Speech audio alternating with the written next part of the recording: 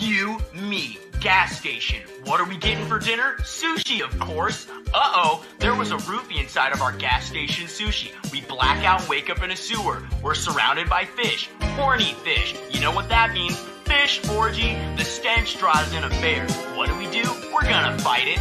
Bear fight? Bare-handed? Bear naked? Oh, yes, please. We befriend the bear after we beat it in a brawl. Then we ride it into a Chuck E. Cheese. Dance, dance? Overthrow the government? Uh, I think so.